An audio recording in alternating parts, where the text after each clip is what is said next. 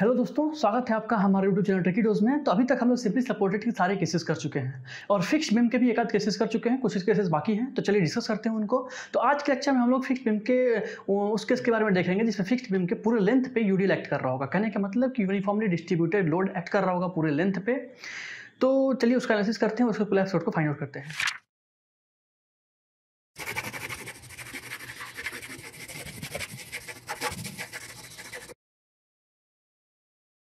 आज हम लोग फिक्स्ड बीम के का एक केस देखेंगे, जिसमें फिक्स्ड बीम के पूरे लेंथ पे यूडीएल एक्ट कर रहा है। कहने का मतलब कि अगर इसका लेंथ एल है तो इसके पूरे लेंथ पे यूडीएल एक्ट कर रहा है, जिसकी इंटेंसिटी को डब्लू बोल देते हैं। इसका यूनिट कुछ भी हो सकता है किलो न्यूटन पर मीटर या फिर newton per metre, newton per M कुछ भी हो सकता है। तो यूनिट में नहीं जाते हैं तो डब्लू का इंटेंसिटी इस पूरे यूडीएल पे, पूरे लेंथ पे अक्रॉस द लेंथ पूरे बीम पे एक्ट कर रहा है। तो अब इसका एनालिसिस करेंगे, इसके कोलेस्ट्रॉल को फाउंड आउट करेंगे। तो किसी भी बीम के हम लोग प्लास्टिक मैकेनिज्म करवाने के लिए या फिर प्लास्टिक फेलियर करवाने के लिए, उसमें सबसे पहले नंबर ऑफ़ हिंजेस को फाइंड आउट करते हैं। तो नंबर ऑफ़ हिंजेस को जब फाइंड आउट करेंगे तो जब नंबर ऑफ़ हिंजेस को फाइंड आउट करने के लिए हमको इस स्ट्रक्चर का, इस बीम का, इस स्ट्रक्चर का हमको static degree of static indeterminacy की ज़रूरत पड़ेगी। तो डिग्री ऑफ़ स्टैटिक इंडिटर्मिनेसी को, जो कि फिक्स्ड बीम है, क्योंकि ये फिक्स बीम है तो दोनों साइड में फिक्स सपोर्ट लगे हुए हैं इसके लिए हमने पिछले क्लास में ही मतलब पीछे के पिछले लेक्चर में जाके देखिएगा तो फिक्स्ड बीम के लिए हमने स्टैटिक इंडिटर्मिनेसी को फाइंड आउट करने का पूरा प्रोसेस बताया हुआ है कि जब कोई हॉरिजॉन्टल लोड कि किसी भी फिक्स्ड बीम पे मतलब ये हॉरिजॉन्टल लोड फिक्स बीम पे एक्ट नहीं कर रहा है, सिर्फ़ वर्टिकल लोड है। तो इस वर्टिकल लोड के लिए जब हम लोग static degree of static indeterminacy को फाइंड आउट करते हैं तो ये दो निकल के आता है। तो ये पिछले लेक्चर में अगर नहीं देखें तो जाके उसको देखिए। उसमें आपको ये क्लियरली समझाया है कि स्टैटिक इंडिटर्मिनेसी निकालने के लिए फिक्स बीम का क्या करना होगा हमको। हालाँकि ये स्ट्रक्चर का पार्ट है, ठीक है? तो स्टैटिक इंडिटर्मिनेसी निकालने के बाद हमको नंबर ऑफ़ हिंजेस तुरंत पता चल जाएँगे। क्योंकि स्टैटिक इंडिटर्मिनेसी निकलने के बाद इस स्ट्रक्चर में हमको ये पता चलेगा कि दो नंबर ऑफ़ हिंज प्रोवाइड करने पड़ेंगे उस स्ट्रक्चर को डिटर्मिनेट बनाने के लिए। कहने का मतलब डिटर्मिनेट वैसा स्ट्रक्चर होता है जिसमें सारे नंबर ऑफ़ सारे रिएक्शंस को हम लोग इक्विलिब्रियम इक्वेशन की मदद से फाइंड आउट कर सकते हैं। तो वो डिटर्मिनेट स्ट्रक्चर में तब्दील हो जाएगा जब इसमें दो हिंज का फॉर्मेशन हो जाएगा। लेकिन उसको प्लास्टिक मैकेनिज्म में करवाने के लिए प्लास्टिक फेल्यूर करवाने के लिए इस बीम का हमको दो प्लस वन यानी कि तीन हिंजेज प्रोवाइड कराने पड़ेंगे टोटल मिला के। चलिए तो हमको हमको स्ट्रक्चर को डिटर्मिनेट नहीं बनाना है, हमको स्ट्रक्चर को प्लास्टिक मतलब फेल करवाना है तो प्लास्टिक मैकेनिज्म करवाना है स्ट्रक्चर का। तो हम लोग तीन हिंज बनाएँगे इसमें। अब तीन हिंज कहाँ कहाँ बनेगा? अब हम लोग फाइनली आते हैं लोकेशन ऑफ़ हिंजेज पे। तो देखिए, हम लोग का पूरा ये जो कोलेप्सोन फाइंड आउट करने का मैकेनिज्म है ना कोलेप्सोन फाइंड आउट करने का जो मेथड है, वो एकदम सिक्वेंशियल है। आपको सबसे पहले नंबर ऑफ़ हिंजेज को फाइंड आउट करना पड़ेगा, कितने हिंज बनने हैं इसमें। उसके बाद आपको डिग्री ऑफ़ स्टैटिक इंडिटमेसी को फाइंड आउट करना पड़ेगा कितने उसके लिए मतलब नंबर ऑफ़ हिंजेज को फाइंड आउट करने के लिए आपको डिग्री ऑफ़ स्टैटिक इंडिटमेसी को फाइंड आउट करना पड़ेगा। उसके बाद नंबर ऑफ़ हिंजेज को फाइंड आउट कर लेंगे। उसके बाद number of hinge find out करने के बाद कि भाई हाँ तीन हिंज बनेंगे इसके अंदर तो हम लोग लोकेशन ऑफ़ हिंज को देखेंगे कि लोकेशन कहाँ होगा। मतलब वो तीन हिंज कहाँ कहाँ बनेंगे। तो उसको देखने के लिए, लोकेशन ऑफ़ हिंज को देखने के लिए हम लोग बेंडिंग मोमेंट का सहारा लेते हैं। क्योंकि लोकेशन ऑफ़ हिंज और नंबर ऑफ़ हिंज का सेपरेट लेक्चर है हमारे पास। अगर उसको नहीं देखें तो उसको जाके देखिए। वहाँ से क्लियर कट आपको समझ में आएगा कि नंबर ऑफ़ हिंजेस को फाइंड आउट करने के लिए क्या करना होता है और लोकेशन ऑफ़ हिंजेस को फाइंड आउट करने के लिए क्या करना होता है। तो ध्यान दीजिएगा आज के बाद से मतलब इस क्लास से लेके जो हमारे थोड़ा सा एनालिसिस होगा, वो थोड़ा सा टफ होने वाला है टफर साइड में जाने वाला है। अभी तक हम लोग बहुत आसान आसान केसेस कर रहे थे। अब हम लोग थोड़ा सा टफ केसेस करेंगे क्योंकि जो हमारा जो हिंज बनने का सिक्वेंस अब नज़र आएगा। कहने का मतलब वो तीन हिंज जो पिछले क्लास में देखे थे, जो पॉइंट लोड के अंदर बन रहा था फिक्स बीम के, वो सारे हिंज अभी तक सारे या तो एक हिंज बन रहे थे या फिर मल्टीपल हिंज बन भी रहे थे तो एक साथ बन रहे थे। तो आज के बाद से जब हिंज बनेंगे, वो सिक्वेंशियल बनेंगे कहने का मतलब एक हिंज कब कभी और बनेगा, उसके बाद सेकेंड हिंज का फॉर्मेशन होगा, या फिर उसके बाद थर्ड हिंज ऐसे कुछ ऐसे करके सिक्वेंस में हिंज बनेंगे। तो सिक्वेंशियल हिंज देखने के लिए अब उसके एनालिसिस थोड़ा सा टफ होने वाला है तो देखिएगा कैसे होता है। तो हम लोग क्या करेंगे, सबसे पहले इसके बी को ड्रॉ करेंगे। तो जब इसके बीएमडी को ड्रॉ करेंगे तो इसका बीएमडी का खुद का एक लेक्चर हो सकता है, क्योंकि इतना बड़ा पार्ट होता है इसका बीएमडी मतलब फिक्स्ड बीम का बी ड्रॉ करना फिक्स बीम का बीएमडी मतलब बेंडिंग मूवमेंट फाइंड आउट करना सारे सपोर्ट्स पे, और सेंटर पे मैक्सिमम बेंडिंग मूवमेंट को फाइंड आउट करना, वो अलग ही एनालिसिस होता है उसका, वो स्ट्रक्चर का पार्ट है मतलब या फिर सोम स्ट्रेंथ ऑफ़ मेटेरियल का पार्ट है, उसमें जाके देखिएगा, आप यहाँ तक आ गए हैं मतलब डिज़ाइन ऑफ़ स्टील स्ट्रक्चर पढ़ रहे हैं इसका मतलब स्ट्रक्चर एनालिसिस और स्ट्रेंथ ऑफ़ मेटेरियल आपने खत्म कर चुका है। तो चलिए, हम लोग इसके बीएमडी को डायरेक्टली ड्रॉ कर देते हैं तो जब इसका बी ड्रॉ कीजिएगा तो इसका बी कुछ ऐसा आएगा।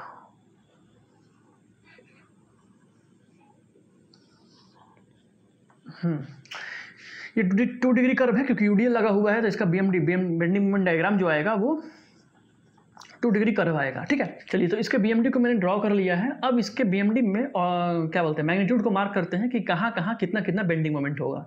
तो सपोर्ट के बाद जो बेंडिंग मोमेंट निकल के आता है वो सपोर्ट के पास जो बेंडिंग मोमेंट निकल के आता है, वो W L square by twelve निकल के आता है। इस सपोर्ट पे भी W L square by twelve निकल के आता है।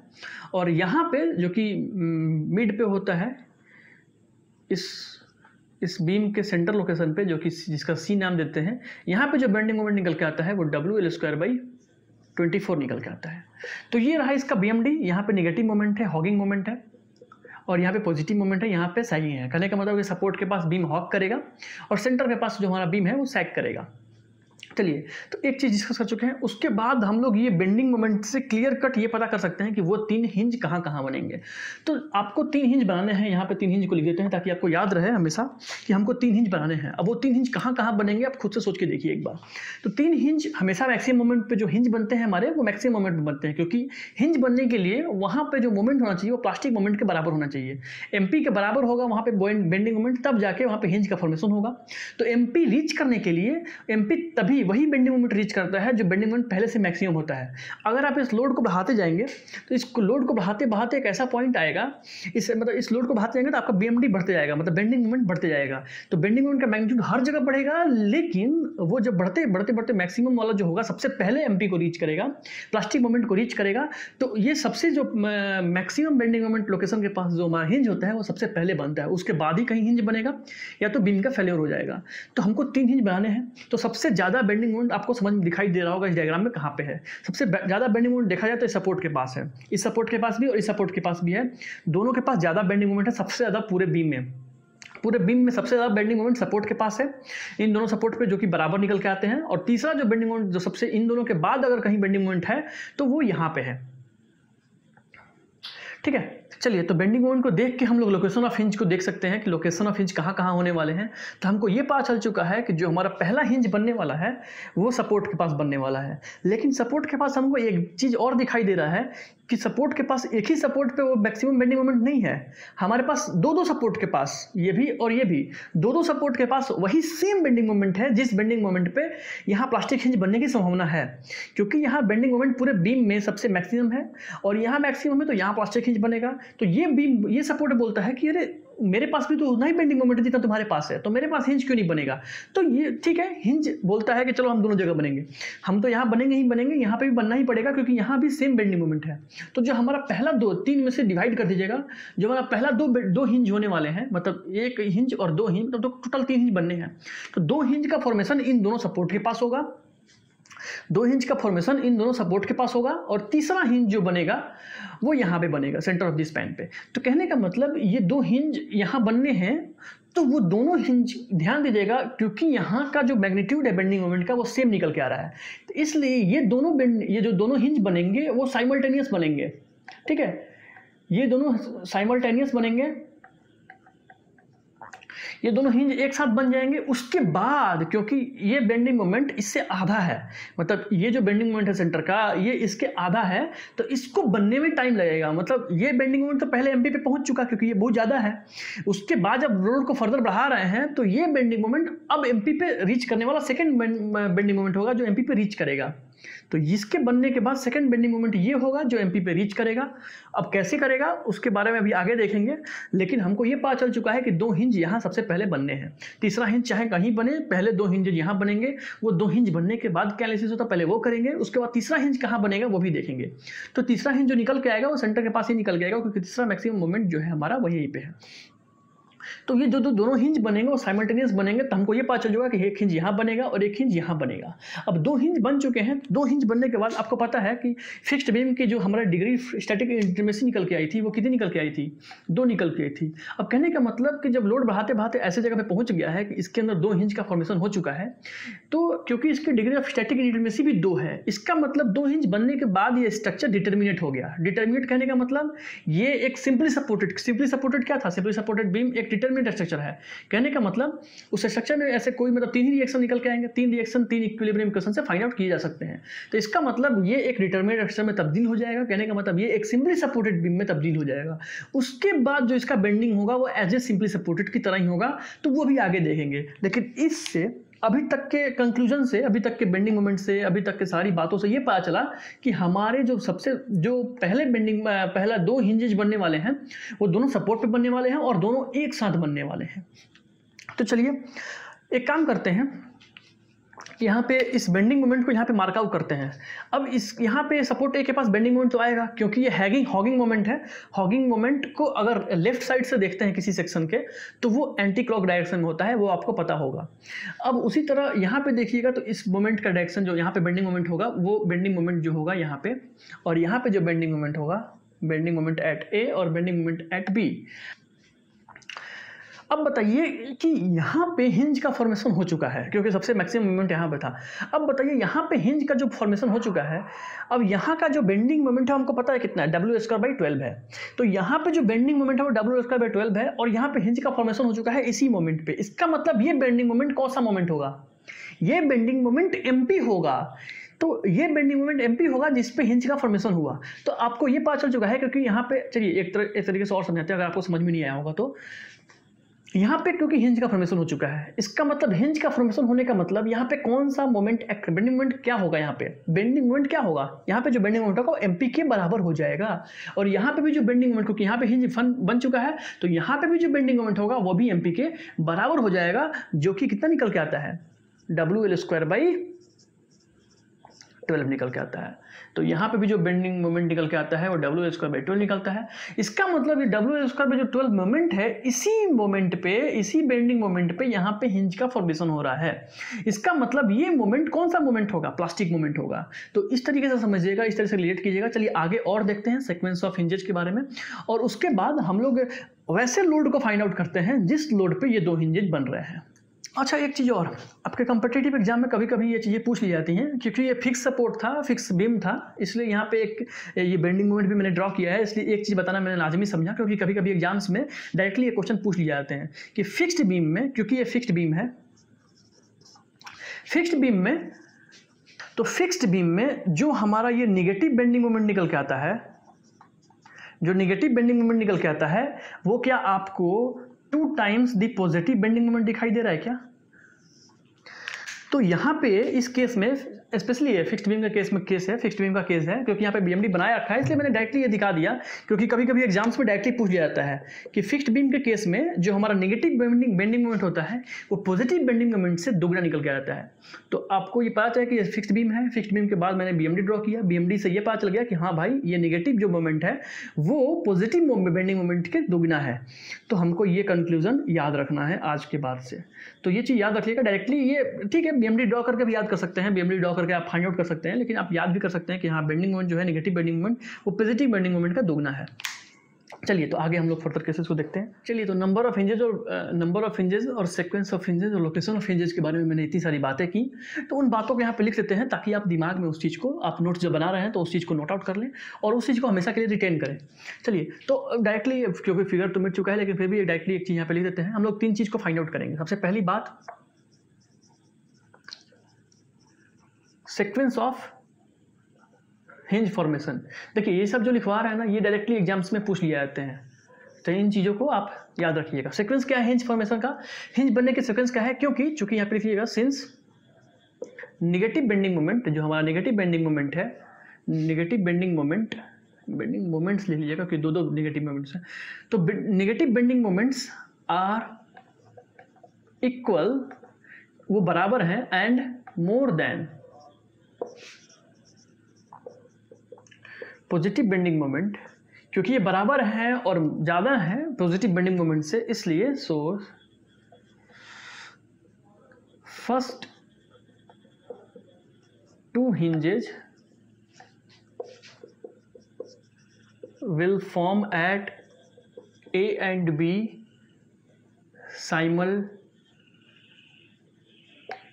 simultaneously वो ए और बी पे साथ साथ बन रहे हैं क्योंकि बेंडिंग मोमेंट हमारा क्या है?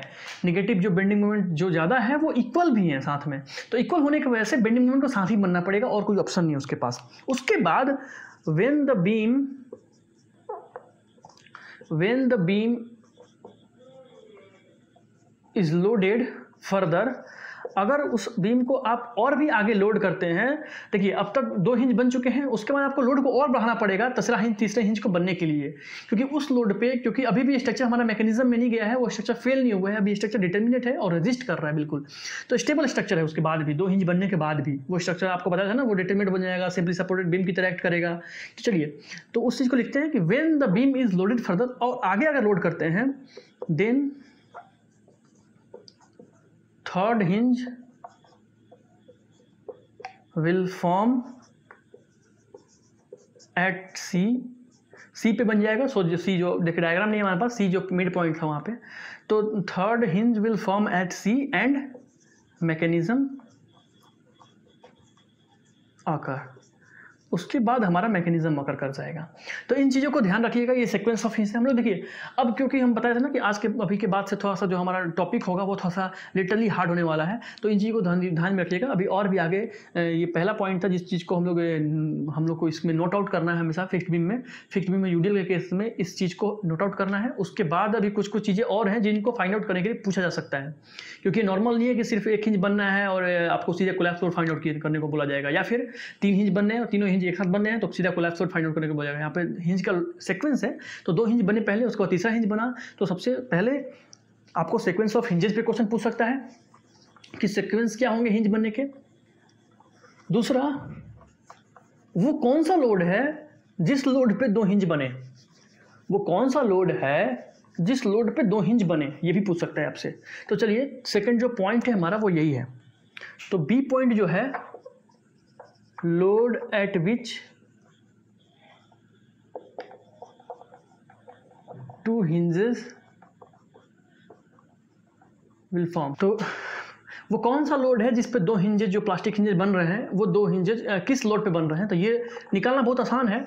वो हम पहले ही वो डिस्कस कर चुके हैं, लेकिन फिर भी चलिए फिर से दोबारा से, क्योंकि ये केस बना के दिखा रहे हैं आपको। तो ये चीज़ नोट आउट कर लीजिएगा। देखिए डब्लू लोड है, मान लेते हैं। ये डब्लू वन लोड है एग्ज़ाम्पल के लिए, क्योंकि ये कोलैप्स लोड नहीं है, वह वैसा लोड है, जिस लोड पे हमारे पास दो हिंज बन चुके हैं स्ट्रक्चर के अंदर। एक हिंज यहाँ, एक हिंज यहाँ। तो दो हिंज बनने के बाद हमारा ये बेंडिंग मोमेंट पता था कि ये बेंडिंग मोमेंट कितने के बराबर है? ये बेंडिंग मोमेंट पता है कितने के बराबर है? तो ये बेंडिंग मोमेंट कितने के बराबर है? एमपी के बराबर, जो कि फाइनली कितना निकल के आता है? W L square by twelve निकल के आता है। और ये भी बेंडिंग मोमेंट कितना निकल के आता है? एमपी के बराबर, जो कि W L square by twelve निकल के आता है। तो यहीं से उठाएँगे। देखिए, एक चीज़ ध्यान रखिएगा, ये बेंडिंग मोमेंट का डायरेक्शन आप बेंडिंग मोमेंट का डायरेक्शन कैसे लीजिएगा? तो बेंडिंग मोमेंट का डायरेक्शन आप बीएमडी से ले सकते हैं। बीएमडी में जो बेंडिंग मोमेंट निकल के आया था, वो हॉगिंग था तो हॉगिंग कर सकते हैं। या फिर दूसरा थीटा था तो थीटा से कैसे दीजिएगा क्योंकि ये बीम पे यूडीएल लग रहा है, कोई लोड लग रहा है तो ये लोड इस बीम को क्या कराएगा? डिफ्लेक्ट कराएगा। तो ये थीटा का रोटेशन का जो टेंडेंसी है, वो थीटा का टेंडेंसी इस साइड में है। तो थीटा का रोटेशन का टेंडेंसी इस साइड में है, इसलिए बेंडिंग मोमेंट को ऐसे लगना ही पड़ेगा, ताकि उस थीटा को रजिस्ट कर सके ये।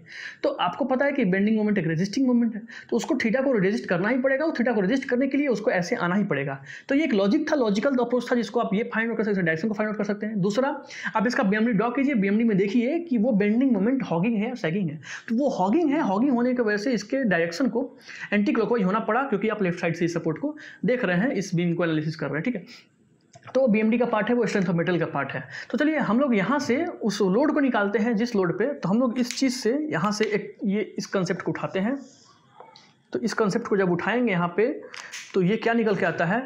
हमारा एमपी किसके बराबर निकल के आता है?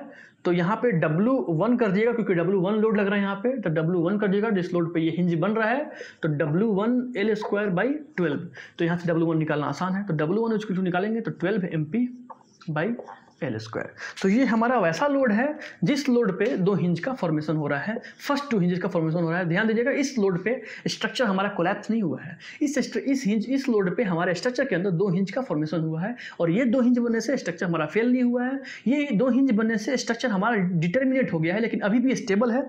अगर इस पर लोड को बढ़ाइएगा तो ये हमारा अभी जो बीम है, वो ऐसे डिफ्लेक्ट कर रहा होगा स्टेबल स्ट्रक्चर की तरफ़ डिफ्लेक्ट कर रहा होगा, इसका रिजिट बॉडी रोटेशन या फिर रिजिट बॉडी ट्रांसलेशन नहीं हो रहा होगा। ये बॉडी एक सिंपली सपोर्टेड बीम की तरफ़ क्योंकि दो हिंज बन चुके हैं यहाँ पे। दो हिंज बन चुके हैं वर्टिकल लोड है, इसका मतलब दो रिएक्शन ऊपर और नीचे से आ रहे होंगे। तो दो रिएक्शंस है तो अब ध्यान दीजिए क्योंकि इसके पास न मोमेंट रेजिस्टेंट है, क्योंकि यहाँ पे हिंज बन चुका है। ये प्लास्टिक हिंज बनने के साथ ही इसके पास मोमेंट रेजिस्टेंट नहीं है अब। यहाँ पे मोमेंट रेजिस्टेंट नहीं है इसके पास। इसका मतलब ये सिंपली सपोर्टेड बीम की तरह एक्ट करेगा और सिंपली सपोर्टेड बीम की तरह डिफ्लेक्ट करेगा। तो अभी तक ये का केस आपको समझ में आया तो चलिए आगे बढ़ते हैं, क्योंकि अभी आगे बहुत कहानी बाकी है। चलिए तो हम लोग वो बी पार्ट में, अभी बी पार्ट के अंदर ही हैं, जिसमें वो लोड कैलकुलेट कर रहे हैं, जिस लोड पे दो हिंजेज का फॉर्मेशन हो रहा है। तो उसके अंदर में एक कंक्लूजन एक नोट आउट लिख लीजिएगा, क्योंकि अभी तक से डायग्राम से आपको दिखाएँ कि ये वो लोड है W one equal to twelve M P M upon में एल स्क्वायर जिस लोड पर दो हिंज का फॉर्मेशन हो रहा है। लेकिन आप इसके बारे में एक नोट लिख लेते हैं, ताकि ये आपको याद रहे हमेशा, और क्या क्या हो रहा है, यहाँ पे ये पता चल पाए। तो at a UDL at a UDL of W one equal to twelve M P upon में एल स्क्वायर इस यूडीएल पे at a load of UDL two hinges are formed and beam behaves like a, beam behaves like a simply supported beam. Simply supported beam with तो simply supported beam की तरह act करेगा, लेकिन ध्यान दीजिएगा simply supported beam में दोनों end पे सिंपली सपोर्टेड बीम में दोनों एंड पे मोमेंट रिस्टेंट नहीं था। बेंडिंग मोमेंट जो हमारा आया था, वो ज़ीरो निकल के आया था। यहाँ पे भी बेंडिंग मोमेंट ज़ीरो निकल गया था। लेकिन इस बार जो फिक्स्ड बीम हमारा कन्वर्ट हुआ है सिंपली सपोर्टेड बीम में, लेकिन यहाँ पे कुछ बेंडिंग मोमेंट है। कितने के बराबर? एमपी के बराबर। तो ध्यान दीजिएगा एम पी देखिए बेंडिंग मोमेंट चाहे MP हो, चाहे ज़ीरो हो, ज़ीरो बेंडिंग मोमेंट कहने का मतलब वो तो रिस्ट्रेन नहीं कर रहा है बिल्कुल भी मोमेंट को। यहाँ पे रोटेशन आप कितना मन कर सकते हैं। यहाँ पे रोटेशन कर सकते हैं, ये बिल्कुल रिस्ट्रेन नहीं करेगा आपको। और एमपी मोमेंट का मतलब ही वही होता है। एमपी किसी बीम के अंदर प्लास्टिक मोमेंट का जनरेशन होना मतलब प्लास्टिक मोमेंट के बराबर मोमेंट का रीच करना, इसका मतलब ये इंडिकेशन है कि अब वो फर्दर मोमेंट को रेजिस्ट नहीं करेगा बेंडिंग मोमेंट को मोमेंट को रेजिस्ट नहीं करेगा, किसी भी रोटेशन को रेजिस्ट नहीं करेगा। तो अब वो मोमेंट क्योंकि एमपी के बराबर हो चुका है बेंडिंग मोमेंट तो अब किसी भी रोटेशन को वो रेजिस्ट नहीं करेगा, अभी भी वो बेंडिंग मोमेंट ज़ीरो की तरफ़ बिहेव करेगा। तो इस चीज़ से कंफ्यूज मत होकिएगा। ये सिंपली सपोर्टेड बीम की तरह तो एक्ट कर रहा है। ये सिंपली सपोर्टेड बीम की तरह तो एक्ट कर रहा है, लेकिन कैसे सिंपली सपोर्टेड बीम की तरह? With with MP moment at supports ये ऐसे बेंडिंग ऐसे सिंपली सपोर्टेड बीम की तरह एक्ट कर रहा है, जहाँ पे दोनों सपोर्ट पे एमपी बेंडिंग मोमेंट ओमपी है हॉगिंग मोमेंट दोनों सपोर्ट पे लग रहे हैं। तो उसकी तरह बिहेव करेगा। तो ये इंपॉर्टेंट था, इस चीज़ को नोट आउट कर लीजिएगा। अभी आगे और भी केसेस देखते हैं। चलिए। तो सी सेक्शन देखते हैं। इस सेक्शन में देखेंगे हम लोग डिफ्लेक्शन एट सेंटर हम लोग को डिफ्लेक्शन क्यों देख रहे हैं? क्योंकि बॉडी हमारा अभी भी एक स्टेबल स्ट्रक्चर है डिटर्मिनेट स्ट्रक्चर है। कहने का मतलब वहाँ पे अभी बीम हमारा फेल नहीं हुआ है, एक डिफ्लेक्शन हो रहा है, उसके अंदर एक सिंपली सपोर्टेड बीम की तरह। तो जो हमारा बीम है, वो कैसे एक्ट कर रहा है, खुद से देखिए एक बार। ये बीम हमारा कुछ ऐसे एक्ट कर रहा है। ये है हमारा simply supported beam with UDL W one is equal to कितना? Twelve M P upon L square के बराबर यूडीएल लगा हुआ है। ये सिंपली सपोर्टेड की तरह एक्ट कर रहा है, लेकिन कैसे सिंपली सपोर्टेड की तरह? यहाँ पे हिंज है दोनों साइड में। कैसे सिंपली सपोर्टेड की तरह? वैसा सिंपली सपोर्टेड जिसमें दोनों साइड में एक बेंडिंग मोमेंट है। कितने के बराबर? एम के बराबर। तो एमपी के बराबर बेंडिंग मोमेंट है, वो उसकी तरह बिहेव करेगा। तो याद आप खुद से सोचिए एक बार। हमको डिफ्लेक्शन निकालना है सेंटर पे, कि सेंटर पे ये बीम कितना डिफ्लेक्ट करेगा? क्योंकि ये बिम डिफ्लेक्ट करेगा ना? हमको पता है डिफ्लेक्ट करेगा बीम तो हमको ये पता है कि बीम डिफ्लेक्ट करेगा। बीम किन किन वजहों से डिफ्लेक्ट करेगा? पहली बात, वो बीम डिफ्लेक्ट करेगा किसकी वजह से? ये यूडीएल की वजह से। यूडीएल की वजह से बीम हमारा नीचे जाएगा, यानी सेक करेगा, डिफ्लेक्शन हमारा निगेटिव डायरेक्शन में आएगा निगेटिव वाई डायरेक्शन मतलब नीचे की साइड में आएगा डिफ्लेक्शन। और ये बेंडिंग मोमेंट की वजह से, जो कि एंटी क्लॉक डायरेक्शन में लग रहा है, इसकी वजह से, इसकी वजह से जो बीम हमारा ऊपर की तरफ़ रोटेट करेगा, बीम हमारा हॉक करेगा तो बीम हमारा ऊपर की तरफ़ डिफ्लेक्ट करेगा। तो ये जो लोड कॉज किया, वो नीचे डिफ्लेक्शन किया और ये जो बेंडिंग मोमेंट जो दोनों साइड पे इक्वल बेंडिंग मोमेंट है तो यूनिफॉर्म बेंडिंग मोमेंट होने की वजह से हमारा बीम हॉगिंग कॉज करेगा। ये बीम में हॉगिंग होने की वजह से जो हमारा बीम है, वो ऊपर डिफ्लेक्ट करेगा। तो हमको ओवरऑल डिफ्लेक्शन निकालना है कि सेंटर पर कितना डिफ्लेक्शन निकल के आए चाहे वो ऊपर हो सकता है, चाहे नीचे हो सकता है, कुछ भी हो, हमको उससे मतलब नहीं है। हमको डिफ्लेक्शन निकालना है। हमको ये पता चल चुका है कि इसके किसी एक डायरेक्शन को अगर पॉजिटिव लेते हैं तो दूसरे को निगेटिव लेना पड़ेगा और उतने से उतने में सब्ट्रैक्ट करना पड़ेगा, ताकि हम लोग को ओवरऑल मतलब डिफ्लेक्शन निकल पाए सेंटर पे जो कि सी पॉइंट है। ठीक है? तो इसको हम निका, निकालेंगे प्रिंसिपल ऑफ़ सुपरपोजिशन से। क्यों? हम लोग निकालेंगे इसको प्रिंसिपल ऑफ़ याद कीजिए स्ट्रेंथ ऑफ़ मटेरियल में। स्ट्रेंथ ऑफ़ मटेरियल में हमको अगर किसी भी बीम पे यूडीएल के साथ साथ मोमेंट एक्ट कर रहे हो अगर दोनों सपोर्ट के पास तो उसका डायरेक्ट डिफ्लेक्शन निकालने का कोई फॉर्मूला नहीं है हमारे पास। हमको उसको प्रिंसिपल ऑफ़ सुपरपोजिशन से करना पड़ता है। कहने का मतलब कि एक बार इंडिविजुअली इस यूडीएल के लिए निकालिए जिस पे डब्ल्यू वन एक्ट कर रहा है, और एक बार इस मोमेंट के लिए निकालिए जो इस पे एम एक्ट कर रहा है।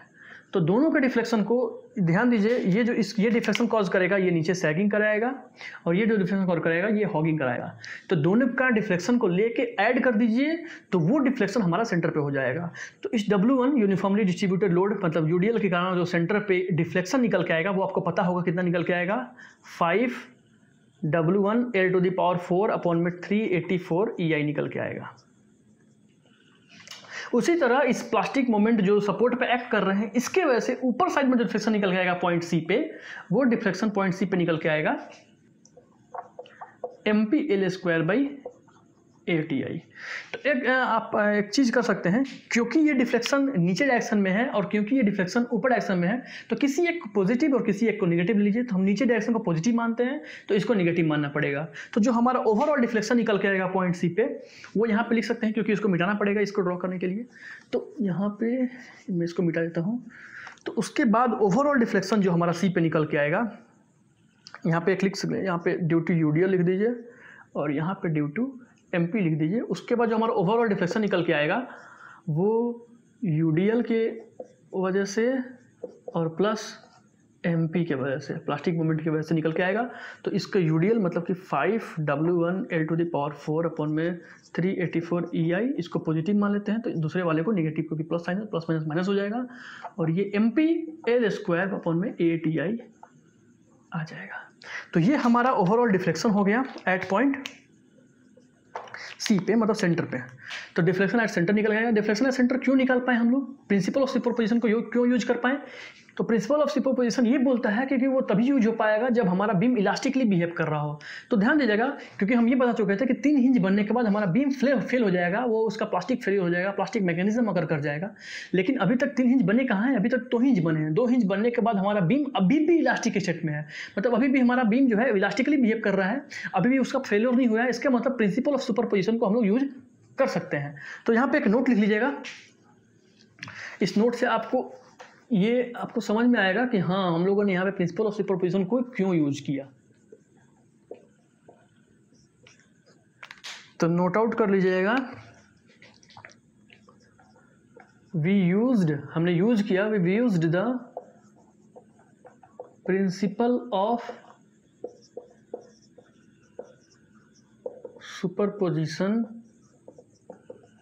to find deflection at the centre of the beam. क्यों यूज़ किया? Because because except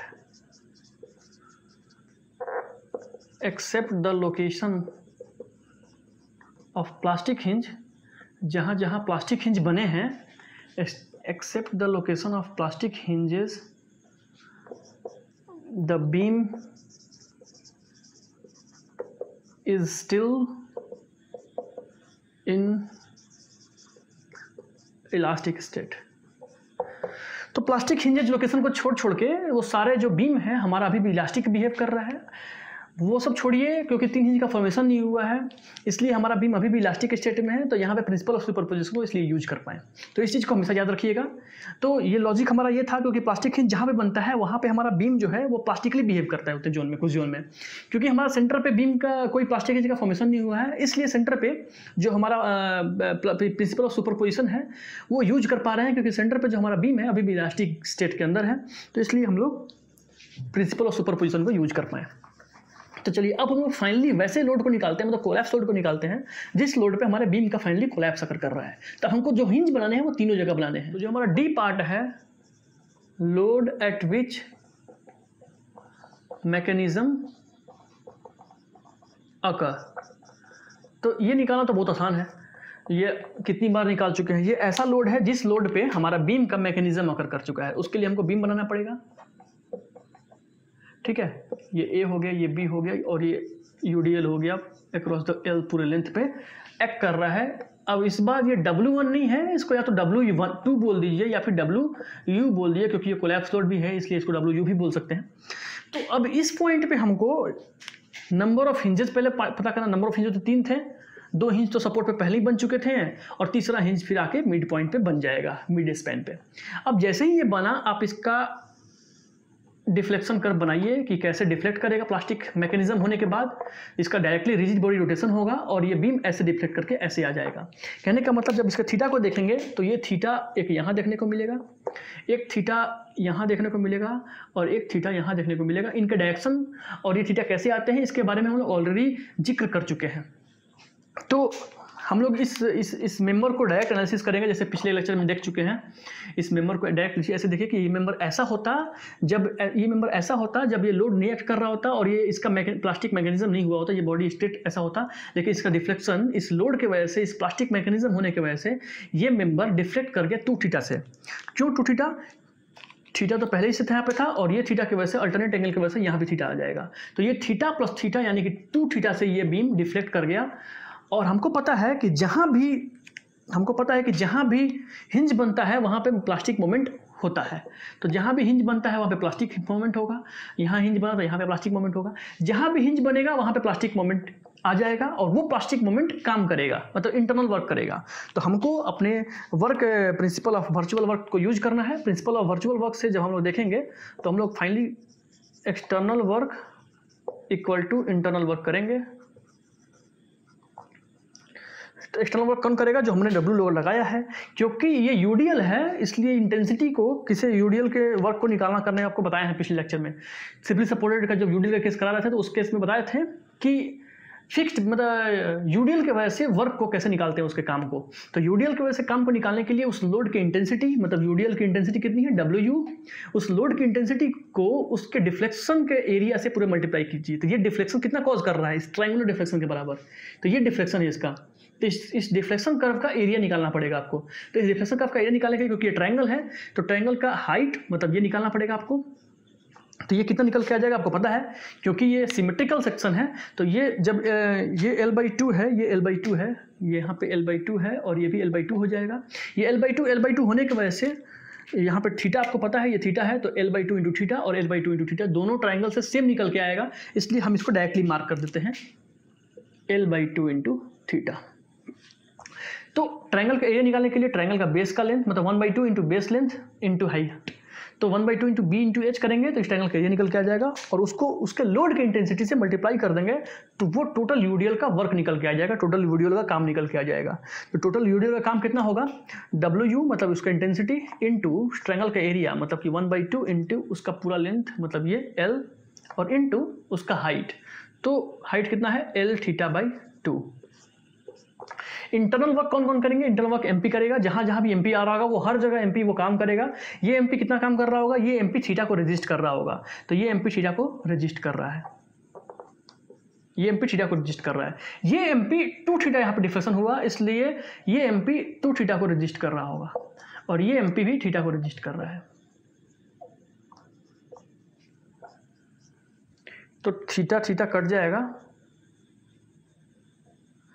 जब यहाँ पे निकालिएगा तो ये आएगा W U L square upon में फोर इक्वल टू ये आ जाएगा फोर एम पी और यहाँ से जब डब्ल्यू निकालिएगा तो डब्ल्यू यू आ जाएगा सिक्सटीन एम पी अपॉन में एल स्क्वायर तो ये इम्पोर्टेंट है।